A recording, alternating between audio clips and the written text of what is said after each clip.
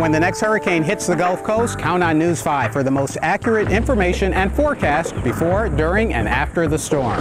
The more we prepare, the better off we'll be. We've got all the tools you need on WKRG.com an interactive hurricane tracking chart, a list of shelter locations, and tons of tips for you and your community to be prepared.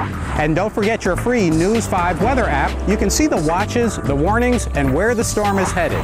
This is our home. Let's protect it by being prepared together.